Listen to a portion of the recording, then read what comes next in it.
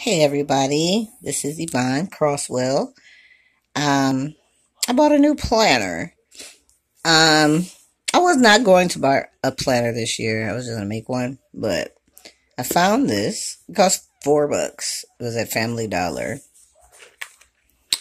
Um, some of the things came with it. Some of these things I added. Um, this notebook did not come with it. I stuck it in there, but it did come with these pockets here. There's one in the front, and there's one in the back. Stuck some stickers in there and some post-its. It came with three sticker sheets to coordinate with the covers and pages and feathers, a few boxes. As you can see, I've already started using them month date sticker. Well, monthly stickers, notes, you know, basic, basic stickers. Nothing fabulous. However, this is the thing that I um, liked about it. It starts out with a bullet journal. They give you a key, that you can recreate. And it also gives you index pages. And the pages are numbered so that you can keep an actual index. You got your state pages. You got some dotted pages.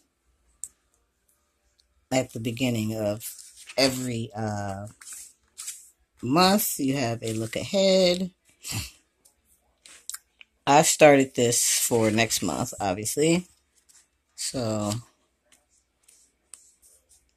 you know, I got this uh, at Family Dollar also. This came with these two upside down. These two. It's a three piece set, and it was a dollar. and this is the weekly view. I'll show you a blank one. Here's the weekly view. You got some nice long horizontal boxes or vertical boxes, sorry. Um, we got two uh, note boxes at the bottom here, and you have a daily routines calendar, which I love. So you can track, you know, go jogging, drink some water, worked, blah, blah, blah. That is your weekly view. You get five weeks for every month. And after every month, you get your dotted pages. And then your look ahead. The tabs did not come with this planner. I added them with stickers. I have uh, some monthly tab stickers I put on here. At the end of the calendar section, you have a let it go section. Now this uh, planner was labeled as a creative planner. Um, insofar as planning your creativity. And me being a company called Planning and Craft, ha, I thought that was quite ideal for me. So you got project pages, there's only four project pages, and you have collection pages, which are cute. Movies to see, books to read, food to try, places to go, and then you have some blank ones. You start your own collections. Then you have address book pages.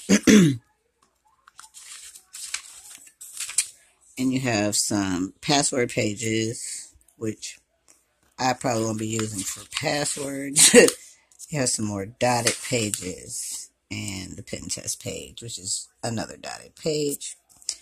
I love the design on this.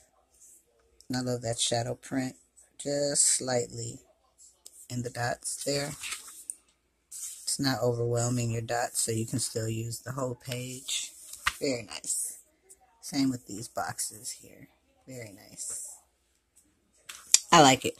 Four dollars And like I said, it came with three pages of stickers.